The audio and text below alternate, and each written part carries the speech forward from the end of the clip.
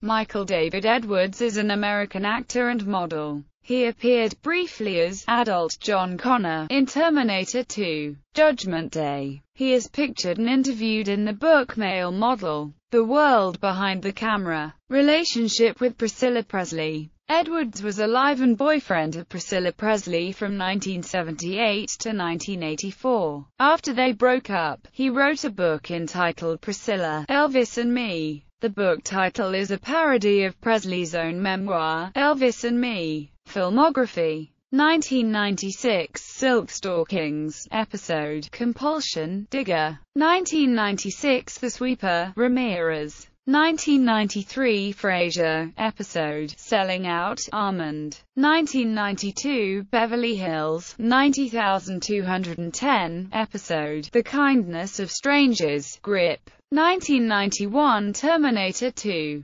Judgment Day, Adult John Connor, 1987 Superstar, The Karen Carpenter Story, Voice of Richard, 1982 The Day the Bubble Burst, Clairvoyance Assistant, 1981 Mommie Dearest, Ted Gelber,